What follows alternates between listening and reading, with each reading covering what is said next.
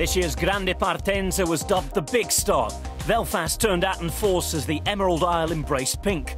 And with the likes of Philip Deignan, Nicolas Roche and Daniel Martin, there was plenty of local interest.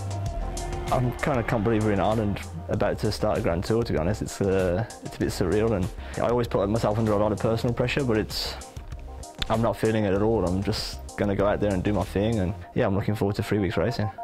As it turned out, Martin's Giro lasted little over 17 minutes.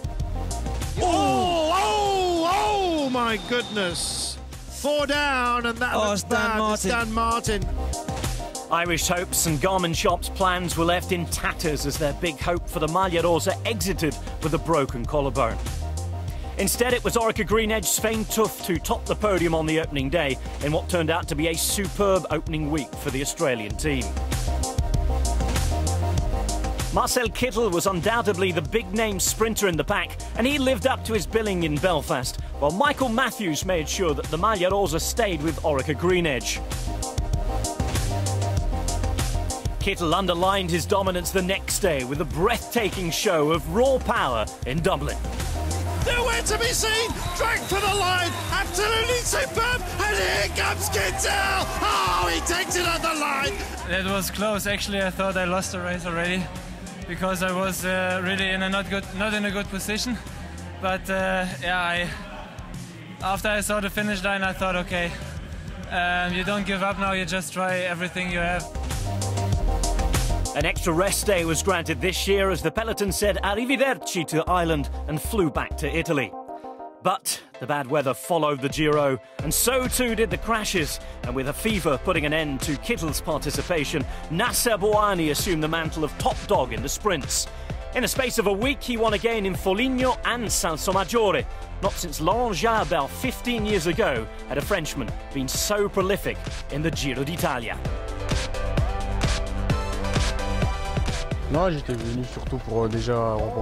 I came to take home at least one stage win. After that, well, I had the three victories. The first week I was aiming for the red jersey, so I was concentrating on the sprints, and I did everything to keep it until then. I'm hoping to keep it until tomorrow to the finish line. Matthews displayed the talent that helped him become the under 23 world champion in 2010, even holding on uphill for a stage win against Cadel Evans in Monte Cassino as he clung tenaciously to the Maglia Rosa for six days. It proved to be a day of controversy as well. Evans' decision to press on in the finale, despite a crash that affected a number of the GC favourites caught up in the melee, wasn't universally praised. Katusha were the worst affected, losing Joaquim Rodriguez, Angel Vicioso, and Giampaolo Caruso. Well, we uh, look like we lost a feet, you know, uh, losing Purito in this race, losing another two guys, uh, caught up with a broken, broken uh, femur, wrists, ribs. Uh, it's it's a big loss. It's a big loss, and uh, so not, nothing we can do, not, nothing we can change. So this is the history. This is the day to forget. The first half of the Giro wasn't without Italian triumph. Diego Ulissi underlined his credentials as a man for the future, winning stages in Viggiano and Montecopiolo in short order. Ulissi hits the peak and he goes for it. It's about timing, and what a piece of genius that was! Oh, chapeau, sir! No, penso for my team, but I think for all the Italian riders too. It's really amazing to win at the Giro d'Italia. I grew up watching it, and it was my dream to win it. So to win two stages, it's like a dream come true. And arguably the most combative team were Bardiani's CSF, always making their presence felt in breakaways. Marco Canola and Enrico Battaglin with back-to-back -back wins as the race headed to the Alps. Though for Italian fans, the revelation of the Giro was Fabio Aru. On the Monte Campione stage dedicated to the memory of Marco Pantani, the 23-year-old from Astana delivered a Pantani-esque victory, which provided the springboard to an eventual place on the final podium in Trieste. Look at this, takes the final curves, 50 metres to go. He has taken a beautiful stage. Superb opening week from Orica Green Edge and four days in the Maglia Rosa for Cadel Evans lifted the spirits of the travelling Australian fans. But the most remarkable Aussie story was written by Michael Rogers on stage 11. Cleared of any wrongdoing over a positive test for clenbuterol just a couple of weeks before the Giro, Rogers scored his first Grand Tour victory in incredible style. First and foremost, my family. You know, within my mind, they were the closest people, you know, to me, and and uh, and, and if, without them, passing those months would have been a, a, lot more difficult.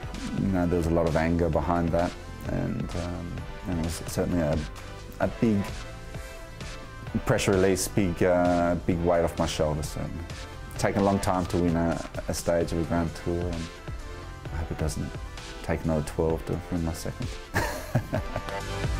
but the big story of this Giro d'Italia was one written by the Colombians. Stay tuned to see how the Maglia Rosa was won in part two.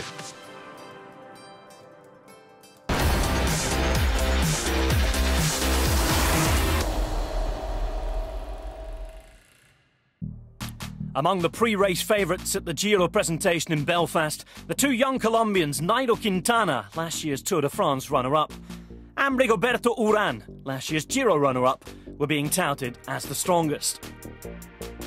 By the mid-Giro point, it was Uran who stepped up to the mark first with a performance of his career against the clock in the Barolo time trial.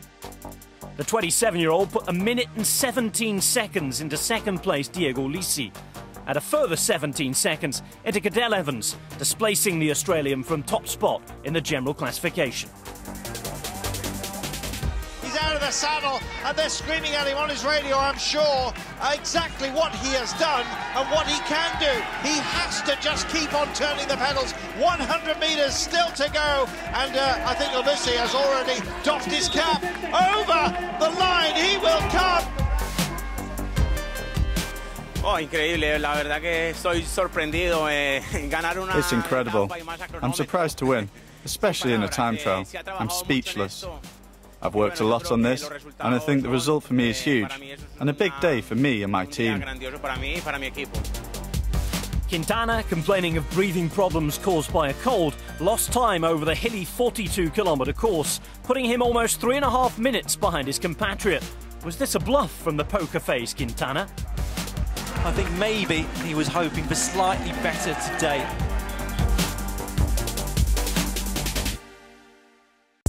But the one man who definitely wasn't afraid to show his hand was Julian Arredondo, another of Colombia's vastly talented young generation. The 25-year-old in his first season with Trek Factory Racing set about laying claim to the Mountains jersey from stage 8 onwards. Wow, Arredondo goes on the attack. Once in blue, he would not be dislodged. Further reward coming his way on stage 18 to Rifugio Panarotta. He points to the sky. He says the mountains is what it's about. The colour blue is where I am. And the colour blue is what I have got. Increíble, increíble. Eh, Ancora incrédulo. Incredible, incredible. I want to dedicate this victory to all my team. We're a family, and we kept trying and trying. I got myself into the break, and I was able to finish it off. To my family and all the Colombians. Now to enjoy this and see what happens next. If Quintana was playing a tactical bluff earlier, he started to put in play his winning moves on the Alpine stages, clawing back almost a minute of the deficit to Uran on the stage finishes at Oropa and Monte Campione. There goes uh, Quintana, and it's damage limitation from Uran behind. The end game of the 2014 Giro was approaching. The legendary climbs of the Stelvio, Grappa and Zoncolan would deliver a final victor. The first of these days, stage 16, produced one of the most epic and ultimately controversial days in recent Grand Tour history, with conditions that tested the riders to their very limits. Only 139 kilometres long, but with a Passo Gavia, Passo Stelvio, and a mountaintop finish on Val Martello, Quintana chose this as his launch pad. This is easy stuff. He's in his pomp. There's the line. And Quintana is about to take the lead of this race with a stage win. It's certainly his day, and it'll probably be his Giro as well. But barely had Quintana pulled on the Maglia Rosa than the debate started over an in-race communique interpreted by some teams as a neutralisation of the Stelvio. Final confirmation coming on Twitter from the Giro d'Italia organisers themselves. At Giro d'Italia, Stelvio descent neutralised due to snow. Quintana and uh, Rolland, they attack, 50 meters to go. I mean, they went away, they, like race continuing. And our guys, Rafal Majka and Nicolas Roche, stopped by me and changed the jersey. Because we told them that the downhill is neutralized, there will be red flags, everybody should come together because of the safety and the ice. So for some reason, the, the, some of the riders of some of the team been not informed about that, because I cannot blame Quintana or Rolland too, because they were in the race, they went full gas, because they've never been told, and I believe them, they said so, and we told our riders to stop and slow down. The debate may continue, but there was no doubt Quintana was the strongest rider over the final days of the Giro. A further win on the uphill time trial to Monte Grappa further cemented his claim on the race lead. Fabio had an amazing time. It has just been destroyed by Quintana. The final and hardest test of willpower for those at the top end of the general classification was stage 20, finishing on Monte Zoncolan. From a large breakaway group, Michael Rogers was granted his wish not to have to wait another 12 years for a Grand Tour stage win. He certainly appreciates what he has achieved. Two stage wins on this Giro d'Italia, and it couldn't happen to a nicer guy. While behind, Quintana and Uran finished neck and neck to seal an historic Giro for Colombia. Uran matching his achievement of 2013, but Quintana becoming his country's first ever winner of the Corsa Rosa.